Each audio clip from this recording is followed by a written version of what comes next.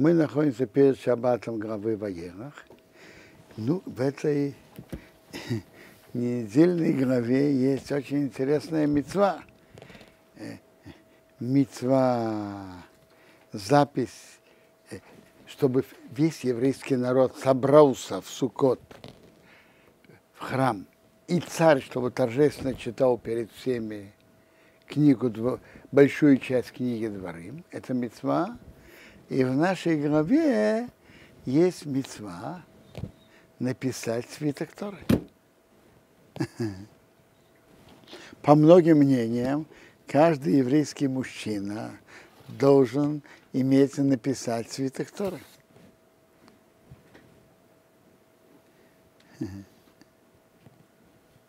Это последняя мецва из 613 заповедей, последняя заповедь.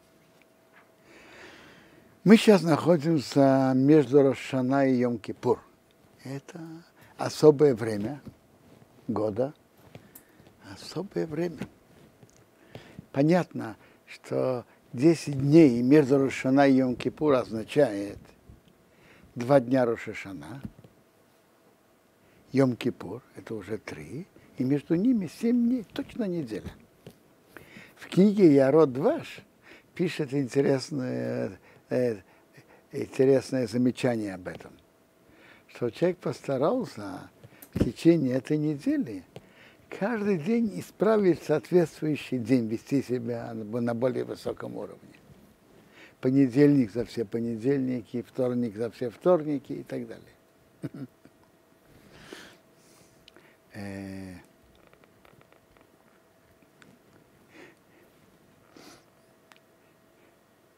Э, Десять дней между Рошана и Йом-Кипур – это время Асерас имеет чува, время исправления, э, подготовки к Йом-Кипур.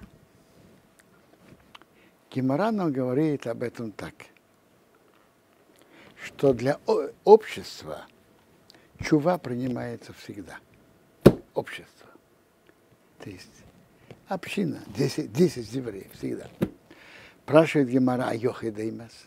А один человек, когда он может сделать чуву, чтобы это хорошо принялось? Когда? Потому что написано в Ешаеву, Диршу Ашем бы имацо. Ищите Бога, когда его можно легко найти. Кроу, зовите его бы йото коров, когда он близок. Так Гемара Рошашона говорит, это 10 дней между Рошоной и Емкипор, что Бог особо, особо близок к нам. И чува принимается лучше. И есть дух чувы, витает в это духовное, э, и, э, есть духовное пробуждение делать чуву в, эти, в это время, и особенно в Йом-Кипур. И это время надо использовать.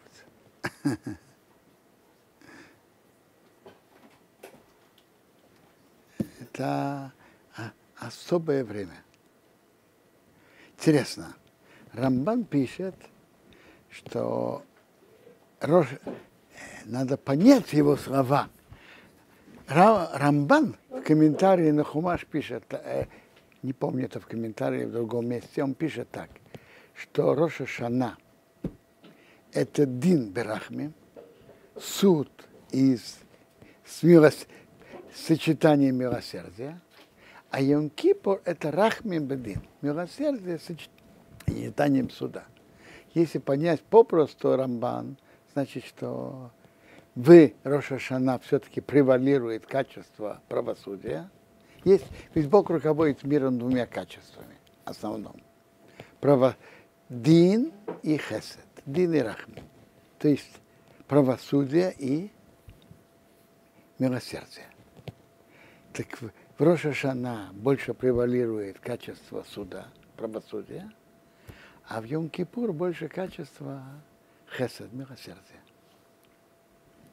Как он, Рамбан пишет так, в Роша Шана это дин берахми, а в Йом-Кипур это рахмим бедин.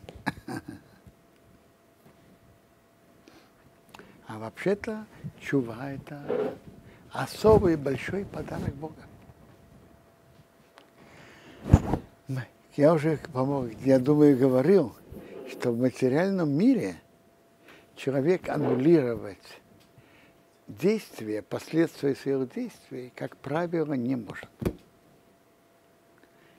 Человек имел какой-то красивый, дорог, дорогостоящий графин из кристалла. И он его по неосторожности разбил. Если он скажет, я из глубины сердца об этом не жалею, я в будущем буду осторожен. Вы думаете, что графин соединится? Осколки графина соединятся? Понятно, что нет. А в духовном мире, и человек, когда что-то сделал, он оставляет свой след в духовном, духовных мирах. Когда человек что-то делает хорошее, он прибавляет свет в духовных мирах. А когда он делает плохое, то он э, уменьшает свет. И Бог сделал такое... А следы того, что он сделал в этом мире, куда деваются? Основное... Ну, примитивный способ, э, вопрос убийства, не дай Бог. Смотрите, это другое дело. То, что вы спрашиваете, верный вопрос. Я сейчас говорю в духовном мире. Человек, я не знаю, ел не кошерный, нарушал шаббат. И это оказывало свое влияние на, на духовные миры, уменьшает их свет. Бог сделал удивительное, э, удивительную силу чувы, что чува может исправить. Что чува? Чува может исправить. И и, и это, это, это добро Бога. Это не правосудие, это качество добра. Как это можно, э, как это работает? Ремейши Хаим Луцату в своей книге Месилас Ешорим говорит, объясняет, что это хесед, но который не полностью противоречит качеству правосудия. Правосудие есть, и она основа мира ее, как говорится, убрать. И Бог создал мир, чтобы было правосудие. Но вместе с этим создал качество хесед. Чува, она не полностью противоречит э, качеству правосудия, не противоречит. Она почему? Мы, Бог засчитывает, когда человек делал, он, он же принял решение делать. Имел решение, желание делать не только действие, было и желание. Когда человек делает чуву, то у него э, аннулируется желание. Он не хочет этого действия, которое он тогда делал. Так Бог засчитывает аннулирование желания, как аннулирование, засчитывает аннулирование желания, как аннулирование действия. А последствия действия, то, что я спросил? А вот вы спросили не, не простой вопрос. Как это действие исправить? Смотрите, в Гимаре написано такие действия, как вы говорите. Это очень страшно. Как это исправить? Э, я вам скажу. Э, чува имеет силу, и человек может много исправить, но такие действия исправить до конца не, совсем не, не просто. Иногда даже невозможно. Э, интересно, Гемора говорит нам, что есть четыре уровня нарушений и четыре, соответственно, им четыре уровня исправления. Значит так, первое. Если человек есть четыре уровня, мецва тасей, мецва, что еврей должен делать, а он не, по лени не хотел делать. Есть мецва тасей, запрет Торы, запрещающая заповедь, и есть более строгое, это запреты, в которых есть карет у мисус Безн, карет, отрезание души или смертная казнь. И четвертое, хиурашем, он осквернил имя Бога своим действием.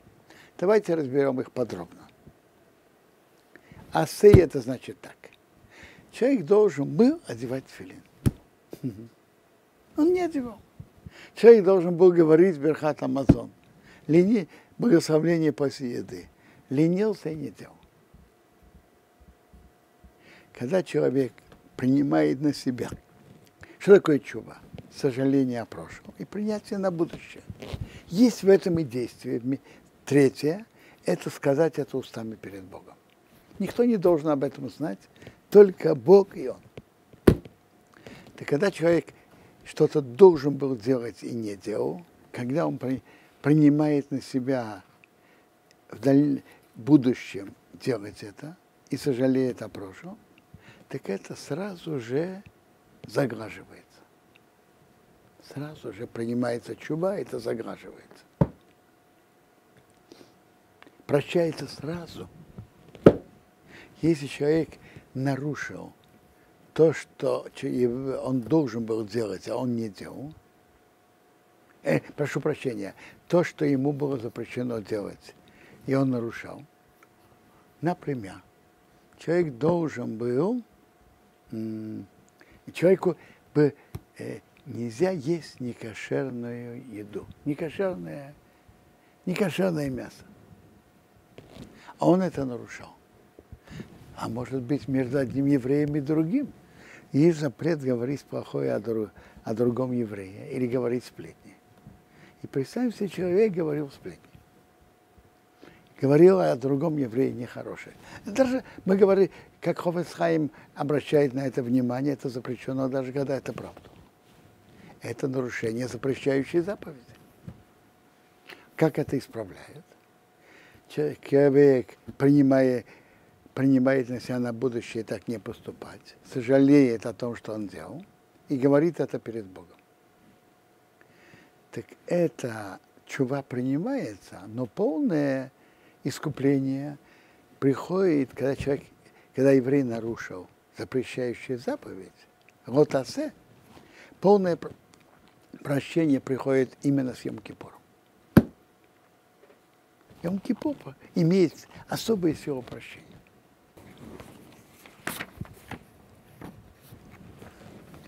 э, э, когда я упомяну про Рашонара и сплетни, то это, это то, что он сделал чуву и принимает на будущее так не поступать. Он исправил относительно Бога. Относительно того человека, если тому нанесен ущерб, то, он, то, э, то это еще не исправлено.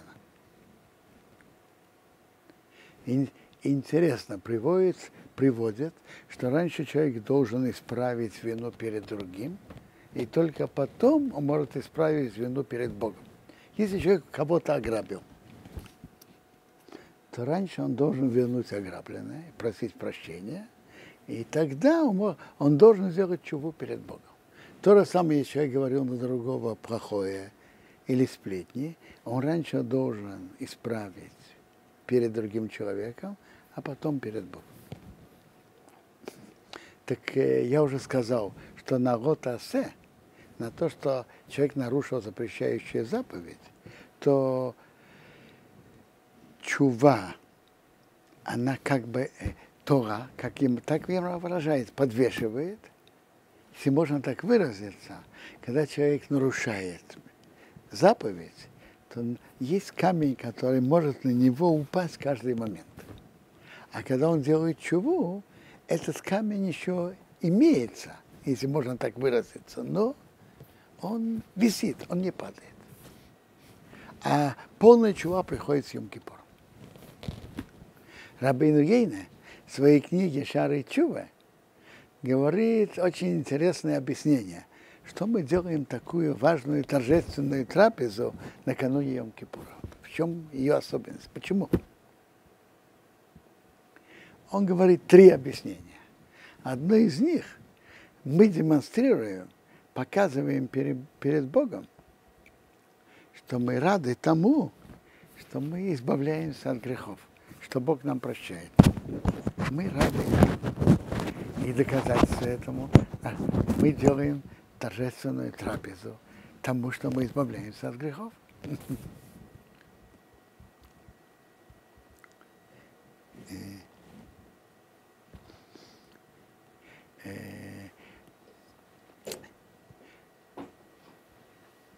Третий уровень – это человек нарушил карет или смертную казнь. Есть такие строгие запреты, за которые есть не только запрет Торы, просто запрет, Но есть еще карет. За нарушение душа отрезается от своего источника, от связи с Богом. Карет. Или есть такие действия, за которые по Торе полагается смертную казнь, если его предупредили от еврейского суда. Например, скажу примеры таких. Например, запрет не да. Есть карет. И на мужчину, и на женщину. Э, другие запрещенные связи тоже есть карет. За, суб, за нарушение субботы есть и смертная казнь, и карет. За Йом-Кипур есть, тоже, есть запрет карет, и за есть или пить в Йом-Кипур, и за запрет делать работу в Йом-Кипур. Хамец в Песах есть карет. Если человек нарушил запрет, на которых есть, полагается карет, или смертная казнь, чува и Йом-Кипур подвешивают этот грех, то есть он не падает на человека, а полное прощение приходит вместе э, с, при, с тем, что у человека приходят какие-то неприятности. Это искупляет. Э, можно это сравнить, знаете, с чем? Когда кого-то запачкалась одежда. Бывало, запачкалась, запачкалась по-разному. Бывает достаточно немножко стряхнуть. Бывает, надо помыть щеткой с водой. А бывает, что нужно специальным э, раствором или в химчистку. Так и есть уровни нарушения. Есть, как я сказал, уровень асы. Человек не делал, что он должен был делать.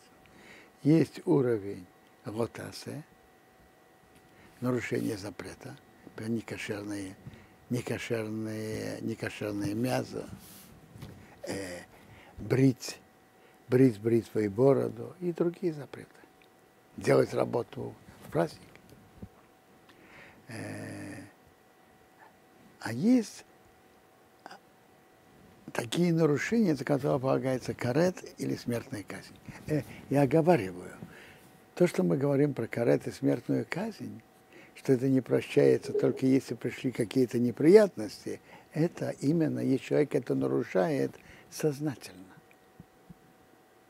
Это не, речь не идет, когда человек нарушает нечаянно, не знает.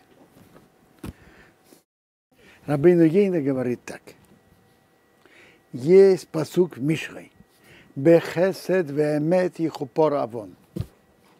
Хесед – добро, веемет и правда, прощается грех. Бехесед веемет и хупор авон. Добро и правда прощается грех. Что такое хесед? Делать добро. Добро бывает разного, э, в разных формах приятно улыбнуться человеку, приятно его принять, помочь. Хесед бывает в самых разных формах. Чем-то помочь другому. Экономически, неэкономически, психологически, сделать ему хорошее настроение и так далее. Это хесед. А эмет – это правда изучение Торы. Так Рабину Ейна спрашивает так. Что значит добром и правдой прощается грех? Э, это что значит? Что человек будет грешить и будет делать добро и правду. Это, э, и это будет, и грехи будут ему прощаться. Это что, индульгенция? Вы знаете, у Папы Римского была индульгенция. В Торе нету индульгенции. В Торе есть другое. На, на, э, на счете в небесном банке есть там два счета, которые один не перекрывает другой. Есть счет добрых дел, за который есть написано в небесном банке на, на каждого из нас наши добрые дела. И на каждого из нас пишут нарушения. То есть есть плюсы, есть минусы. Но это два автономных счета. Они не прикрывают один другого. Что же это значит? То, что царь Шломо говорит, Бахесет ваэмет ехупарабон. Добром и правдой прощается грех. Он говорит так. Рабину Ейна пишет так, что если человек нарушал такие запреты, за которые, как мы говорили, полагается э, для полного, то, что полагается, э, человек нарушил запреты, которые полагается карет или смертная казнь, и нарушил это, как мы уже говорили, сознательно, не, не то, что он не знал, так э, как можно сэкономить их? Так он говорит, если человек будет делать много добра людям, хесед, и МС будет больше учить Торы, то это может, это может сэкономить ему неприятности. И он приводит, э, мы же знаем, что закат от и мавет, это тоже посук в Мишрой. Зака спасает от смерти. А если зака может спасти от смерти, то тем более может искупить э, неприятности, которые э, может искупить грехи, и этим э, спасти человека от неприятностей, которые бы должны были на него прийти. То есть хесед может искупить от смерти, от неприятностей. Хесед – добро. Добро бывает в самых разных формах.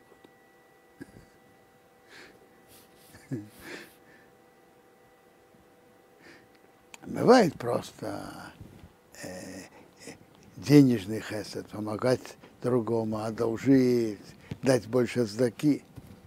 А, а бывает, что человек что-то радует другого, принимает его хорошо или помогает ему в его беде и так далее. То есть хесед, есть разные формы хеседа, и хесед может э, искупать грехи и экономить неприятности.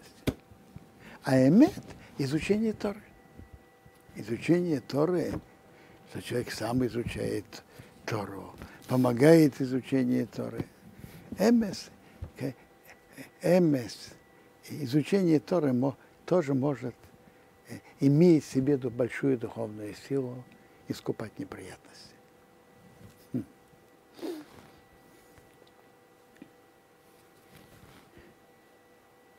Э, я просто говорю о, об уровнях нарушения и уровне искупления. Как, как они искупаются. Интересно, что Гемора нам говорит, что самое строгое нарушение, это знаете что?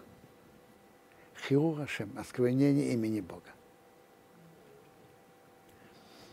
Хиу Хашем, которое Йом-Кипур не может простить, и даже неприятности не могут искупить, только смерть полностью искупает.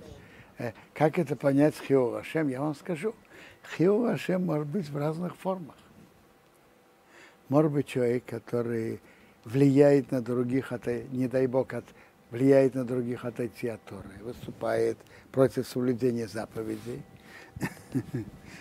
Нам тут в Израиле тоже э, средства массовой информации подают яркие примеры Хиоши. Это, так сказать, такой, такой формы Хиоши. Кто-то влияет на других, выступает против. А, а может быть Хиоши в другой форме. Ты может быть еврей, который соблюдает, соблюдает заповеди, и, и не нарушает. Но он делает какие-то действия, что из-за этого люди смотрят криво на тех, кто учит Тору. Допустим, он ведет себя неделикатно в разговоре с другими, или он не очень честен в денежных отношениях, значит, не очень честен. Не просто он обманывает, но так люди видят в этом в его действиях обман, и это создает хилу Рашем, осквернение имени Бога. Гемора говорит, э, я прочитаю, как Гемора это говорит.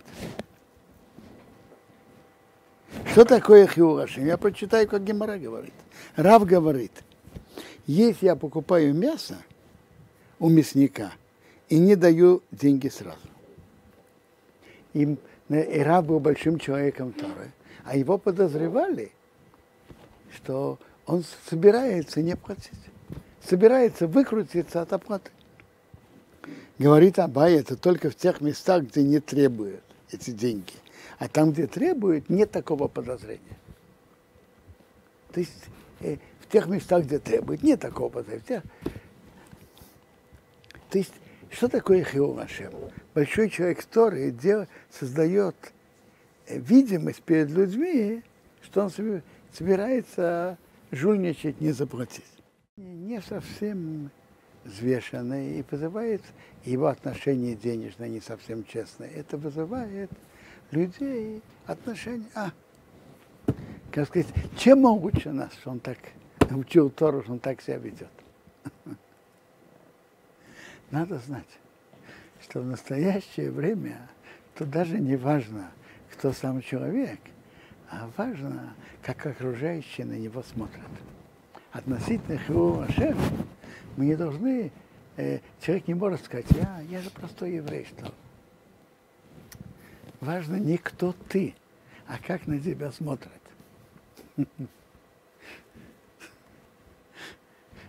Хотите послушать шутку? Рабьянки Рогалинский за отца рассказывал. Рабьянки в Галинский. Он как-то ехал в автобусе, ехал, он жил в Нейвраке, а его место, его Ешива была в Хадере. Он ехал. Как-то, ну, шофер его видел, э, уважаемый еврей, может, он и знал, что он руководит Ешивой. Он говорит, а, как ваши раввины себя ведут? Так смотрит, какие раввины, кто? Какой-то там парнишка что-то неделикатно себя повел, который э, одет как Бен Ешива и так далее. Знаете, что ему Рубянкив сказал, ты знаешь?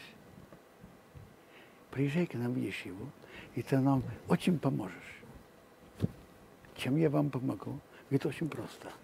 У нас, чтобы дать кому-то смеху, сделать его, объявить его раввином, он должен учить много Торы, должен экзаменоваться, должен давать ответы, знать. А ты нам облегчишь работу. Придешь и Сразу все станут раввинами, ты им облегчишь работу. Шутка шуткой, но люди так смотрят.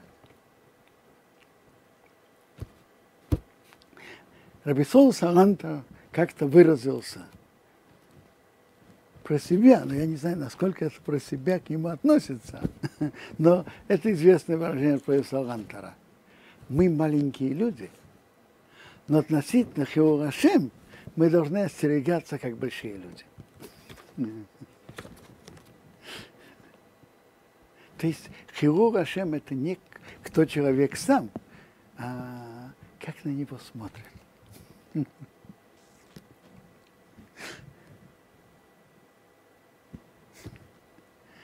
Есть, рассказывают, что Хафецхайм в своей юности напрягся в учебе,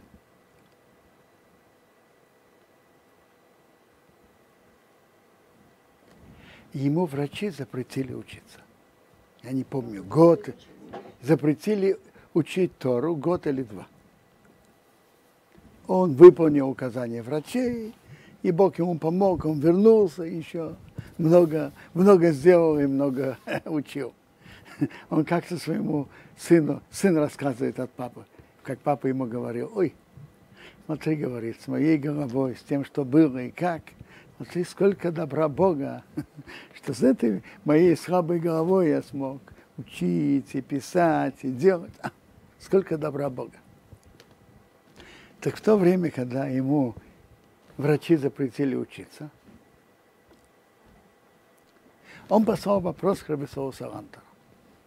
Хотите послушать вопрос? Учить Тору ему сейчас нельзя, по указаниям врачей. Но он был известен как э, человек, который учит Тору и усердно. И он будет сейчас сидеть без книги. Люди будут говорить, как это? Вот этот молодой человек, который так учил Тору, перестал учить. Они, не зная о его медицинском состоянии. С другой стороны, если он будет держать книгу, выходит, что он обманывает людей. Он же действительно не учит, ему нельзя учиться. Что делать? Держать книгу или не держать? Дилемма. Кажется, рассказывает, чтобы Солванто сказал, чтобы он да, держал книгу, чтобы не было хилношем.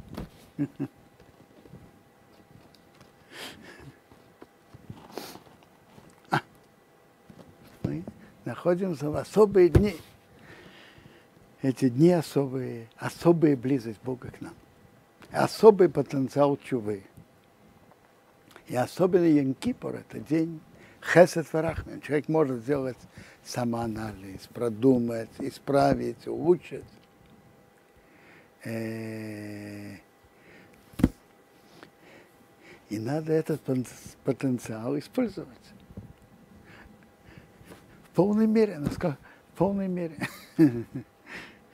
Я рассказ тоже рассказывал Равьянки Рогалинский отцом. Он рассказывал так –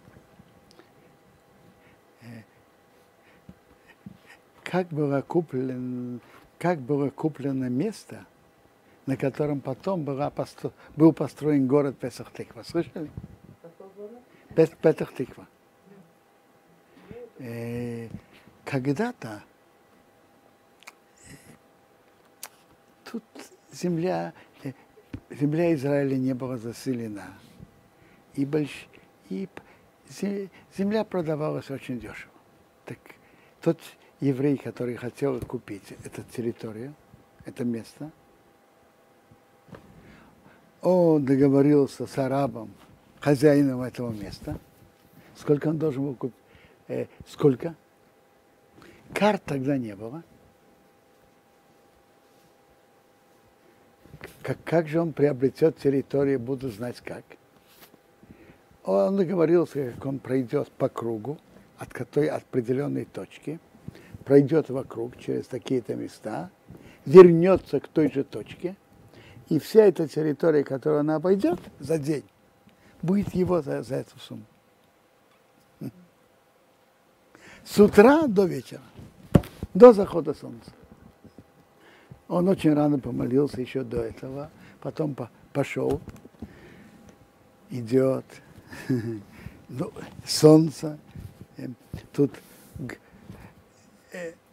немножко тут горка, а тут надо подняться, потом надо спуститься. Возле него тот, э, тот араб, который ему продал на ослике.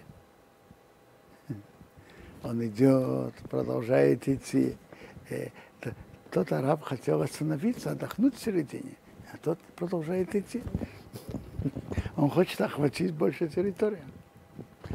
Так, он был не молодым человеком, но он шел, шел, шел, обошел всю территорию, вернулся до вечера без остановки, дошел до того места и упал без сил.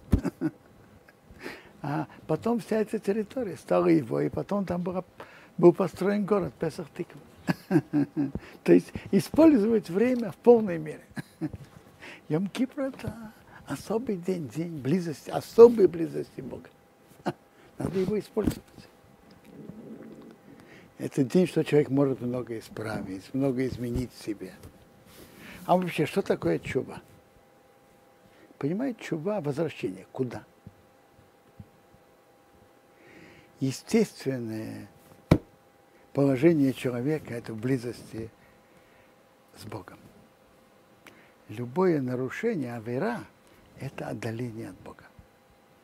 А чува – возвращение к близости, так, так как естественное положение человека быть близким с Богом.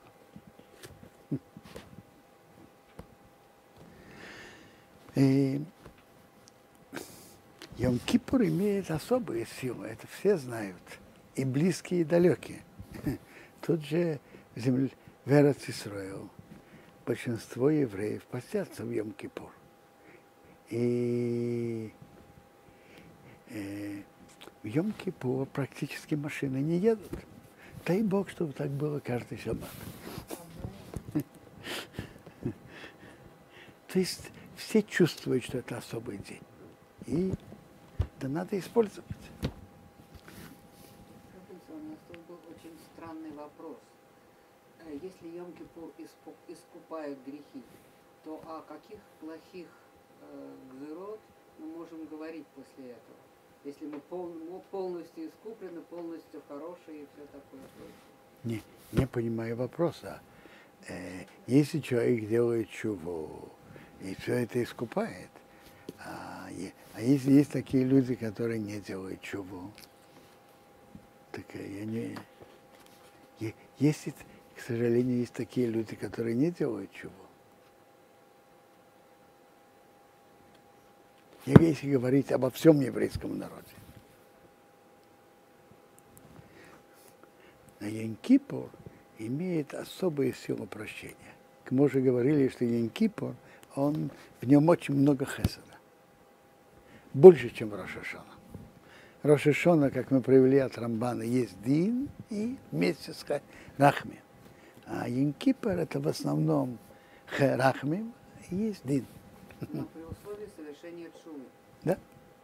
Есть особые. Да, да. А почему после Йом-Кипра до Суккот э, или три или четыре дня как бы, как бы нету праздников? Это Шема?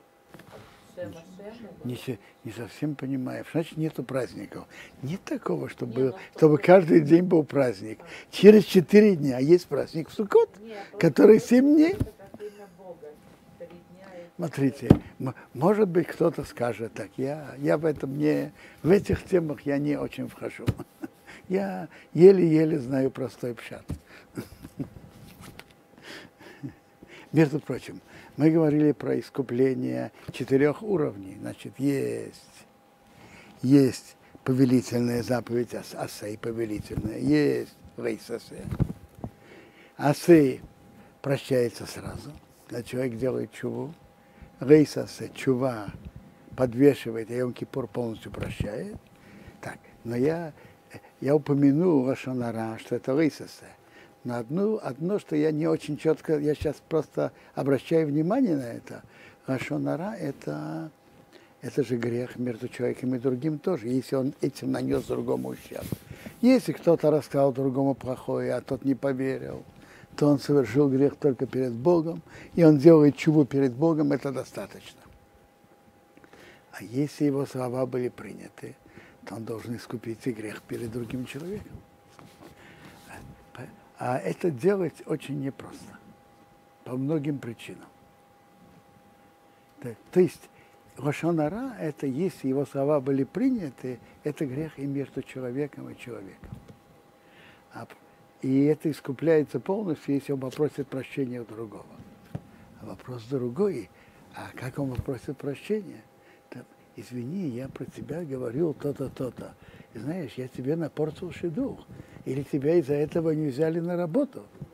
Э, а, э, Человек может это сказать, скажите. Э, Есть, есть добавочный вопрос.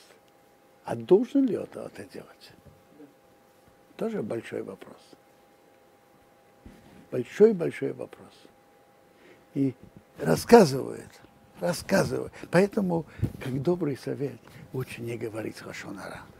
Потому что потом его исправлять очень сложно. Это просто как добрый совет. Э, из- рассказывает, что когда Хофецхаим написал свою книгу, и он считал себя из учеников Рабисова Салантара, он принес ее Рабисову Салантару, он был поколением раньше, Рабисов Салантар рассказывает, нес эту книгу с собой в своем мешочке в столице Цфилин. И он на основании этого решал, полагался на это в решении разных вопросов. Рассказывает, что Рабисов Салантар сказал Хофецхаиму так. Во всем, что ты пишешь, я с тобой согласен. А в одном не могу быть согласен. Ховецхайм пишет так, что если человек говорит лашонара на другого, и он хочет сделать чуву, так если он говорил плохое о другом, а ему не поверили, это только грех перед человеком и Богом. Еще раз повторим. Грех между человеком и Богом. Человек делает чуву перед Богом, и все искупляется. Грех между человеком и человеком, он должен прежде всего просить прощения у того, кого он обидел. И поэтому очень принято просить один другого прощения перед Йом Кипуром.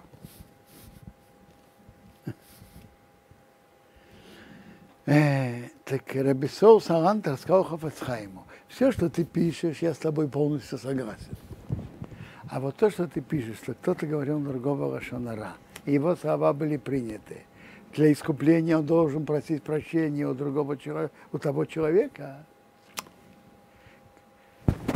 Тот человек, который рассказывал Лашонара, он хочет искупить свой грех. Но он спрашивал у Рабисола Саланта, какое право ты, когда ты рассказываешь другому, я про тебя говорил, что ты то-то, то-то.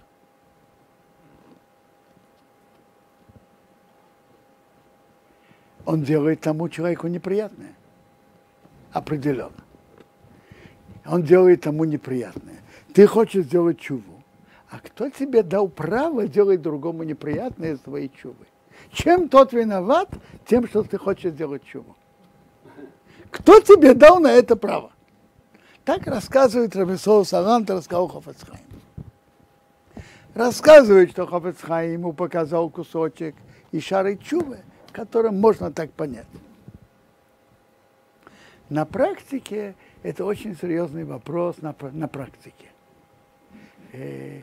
От имени двух больших поским нашего поколения, от Равшома Залмана и Арбаха Зацау, и от Амнисим Карелицев, пусть он будет жив и здоров, говорят, приводят, что они оба считали, что если кто-то говорил о Шонара на другого, и его слова были приняты, чтобы он не шел сообщать другому, что он говорил про него то-то и то-то. Ты хочешь сделать чуву, хорошо, но кто тебе дал право сделать другому неприятно? Так говорят от Рабшхема Залмана и Абаха Зацау и от Рабнисим Карелица. Нет, в общей форме можешь просить прощения, но я вам скажу, я вас спрашиваю, надо понять, когда человек просто так подходит другому просить прощения, это очень похвально, очень хорошо. Но если, допустим, тот ему напортил дух своим рассказом, а он подходит и просит прощения. Тот думает, что, может быть, он когда-то его не выслушал или, не, или по неосторожности толкнул. Это не, не, не это тот понимает. А? Э, когда просят прощения, надо понять на что. На что. А если не знаешь, на что, лучше вообще не просить? Что? Смотрите, бывает, послушайте, послушайте, бывает иногда, что люди воспринимают по-разному. И то, что со стороны э, самого человека безобидное замечание, от того это обижает. Так на это вполне хорошо попросить прощения. Я говорю другое. Тот, кто другого действительно обидел, а он э, подходит к другому так безобидно, ну, может, я тебе что-то сделал неприятно, тот, тот не имеет в виду на, на, то, что, э, на то, что тот просит ее. Тот говорит ему, прощай. Э, надо понять, на что. Но, э, но как добрый совет, лучше не говорить лошонара, потому что попадаешь потом э, в такую ситуацию, что о, не просто исправить.